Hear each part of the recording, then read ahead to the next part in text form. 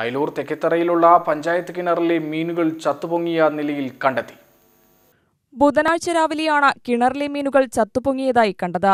നാട്ടുകാർ വിവരമറിയിച്ചതിനെ തുടർന്ന് ആരോഗ്യവകുപ്പ് അധികൃതരും പഞ്ചായത്ത് അധികൃതരും നെന്മാറ പോലീസും സ്ഥലത്തെത്തി. കിണറിനടുത്തുള്ള ക്ഷേത്രത്തിന് സമീപത്തെ ആൽമരത്തിൽ നിന്ന് കായ്കളും ഇലകളും പൊഴിഞ്ഞു വീഴുന്നത് കിണറിനകത്തേക്കാണ്.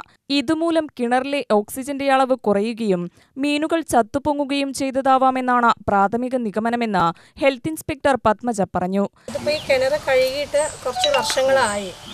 അപ്പോൾ ഇതിൽ ഈ മരത്തിന്റെ വേസ്റ്റ് ആൽമരത്തിന്റെ അത് വീഴുന്നുണ്ട്. പഴങ്ങൾ വീഴുന്നുണ്ട്.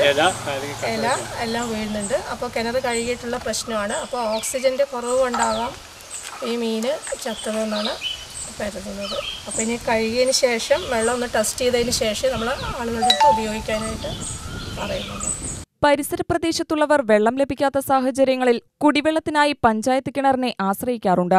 മീനുകൾ ചത്തുപൊങ്ങുകയും വെള്ളത്തിന്റെ നിറം മാറുകയും ചെയ്തത് പരിസരവാസികളിൽ ആശങ്ക പടർത്തുന്നു.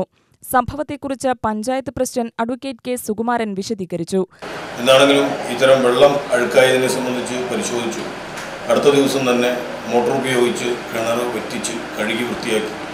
മറ്റു വല്ല കുഴപ്പങ്ങളുണ്ടോ എന്ന് പരിശോധിക്കുകയും അത് ഉപയോഗയോഗ്യമാക്കുന്നതിന് വേണ്ടിയിട്ടുള്ള ഇടപെടൽ ഭരണസമിതി കൂടിയാലോചിച്ചുകൊണ്ട് വരുന്ന തൊട്ടടുത്ത ദിവസം തന്നെ ചെയ്യുന്നതിന് വേണ്ടിയാണ് ഇപ്പോൾ തീരുമാനിച്ചിട്ടുള്ളത്.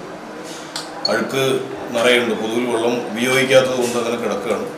പഞ്ചായത്ത് പരിധിക്കകത്തുള്ള മുഴുവൻ കിണറുകളും നന്നാക്കുന്നതിന്റെ ഭാഗമായി കൂടി ഇതിനുകൂടി ഫണ്ട് വകയിരുത്തി കിണറിനെ എല്ലാവർക്കും ആ പ്രദേശത്തെ മുഴുവൻ ആളുകൾക്കുമുള്ള ഒരു ഉപയോഗിക്കുന്ന എപ്പോഴും ആശ്രയിക്കാൻ കഴിയുന്ന ഒരു കിണറാക്കി മാറ്റുന്നതിനുള്ള ഇടപെടൽ കൂടി പഞ്ചായത്ത് ഭരണസമിതി ഏറ്റെടുത്ത് നടപ്പിലാക്കും എന്നാണ് ഇതുമായി ബന്ധപ്പെട്ട് പറയാനുള്ളത്.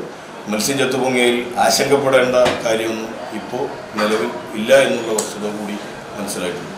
Assistant health ഇൻസ്പെക്ടർമാരായ Saravanan Rajith Nenmara circle inspector A Deepakumar panchayat മെമ്പർമാരായ ഷാജഹാൻ വിപിൻ പത്മഗിരീശൻ എന്നിവരും സംഭവസ്ഥലത്തെത്തിയിരുന്നു.